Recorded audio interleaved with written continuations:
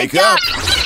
It's Hot 96.9's Ramiro, Pebbles, Melissa, and Wiggy. We were just talking about hip hop beef, and now in studio we have a gentleman who's trying to smooth it all out. It's Hot 96.9. J Prince, uh, CEO of Rap-A-Lot Records. It's going back back in the day to the Geto Boys. So you were in. You were actually speaking at the uh, at Harvard, right? Oh yeah, yeah. I had a ball over there at Harvard. Yeah, you have a book out. It's called The Art of Science and Respect. Yeah, And when it comes to science and respect, uh, this gentleman right here tried to tell Biggie and, and Diddy not to go to LA back in the day. Imagine if they listened to him. Wow. I'm a huge Biggie fan. I wish he would have listened. Yeah, you you, should have tried harder, man. You, you Damn. advise, yeah, yeah. Hey, you can what? only do so much. You're like, snatch your plane tickets. do something. you, you advise Drake not to go with Pusha T. yeah, yeah.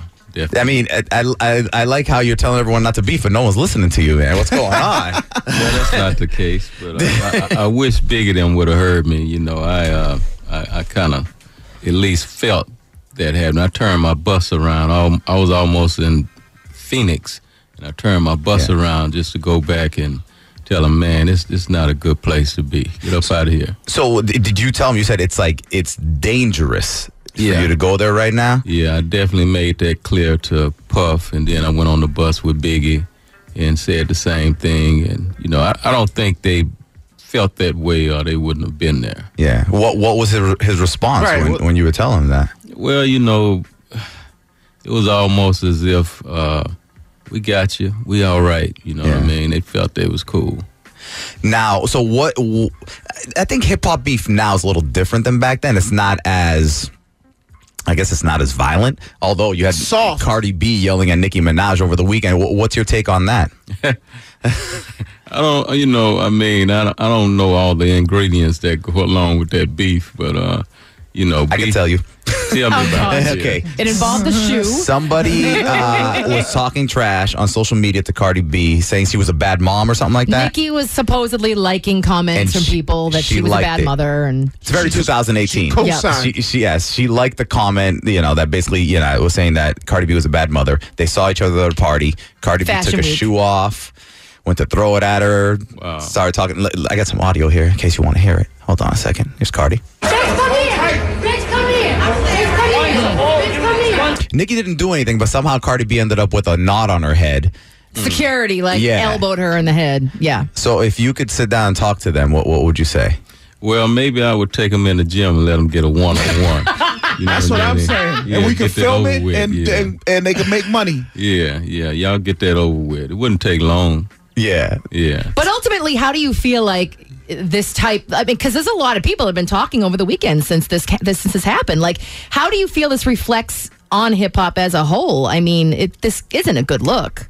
Well, no, I mean these type of things are going to exist in hip hop as long as hip hop exists. So, you know, I I don't expect differently, but it is a way, uh, art and a science of handling and dealing with these kind of situations. Right. But how much of it is like real and how much of it is like phony and made up? Because you, when you think of when you talk about the Tupac Biggie beef, like that was real beef. There was no way in hell, even if they you know, were both alive, I couldn't see these two getting on stage hugging it out. And you got like Meek Mills hugging it out with Drake and, you know, and now you got the whole Nicki stuff. How much of it is like real beef and this is just all made up through, you know, the entertainment of hip hop? Well, one one thing about beef, it can go from zero to a hundred at any moment because of the people that surround these individuals. You know what I mean? Whereas you may be looking at Cardi B and Nicki, it's mm-hmm. those that surround them where it can take off and turn into a, a life being taken.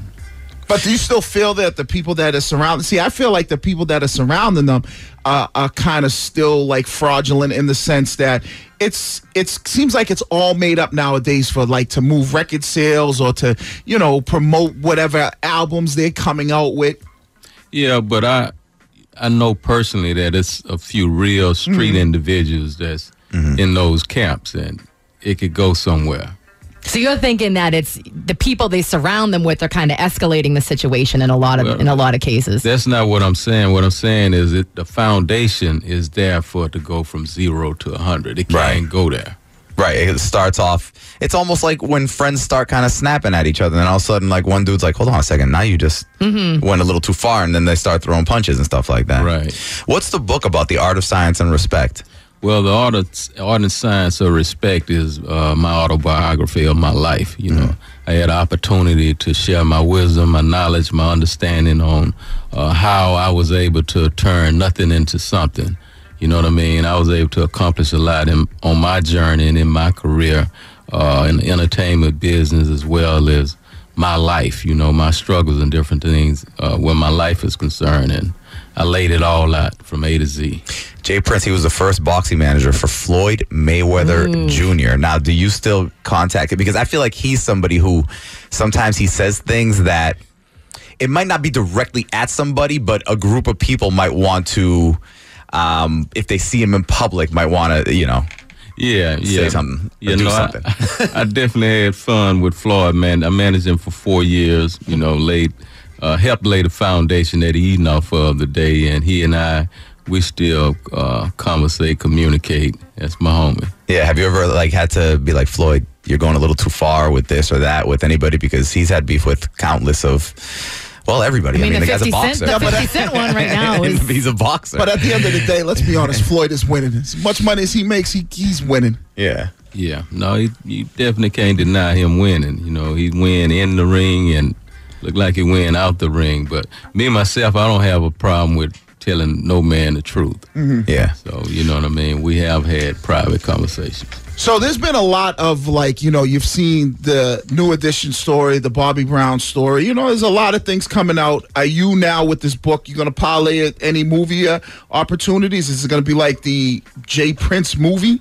Yeah, most definitely. That's a that's a goal. You know what Okay. I mean. And I've definitely been entertaining conversations of bringing that uh, into fruition, and it's just a matter of time. Excellent. Well, Yeah. the book, it's out now. It's called The Art of Science and Respect by J Prince. The dude's had quite a life, quite a career. Thank you for coming in. Uh, Hey, a this early, privilege, sir. privilege and honor. Wake up! It's Hot 96.9's Ramiro, Pebbles, Melissa, and Wiggy.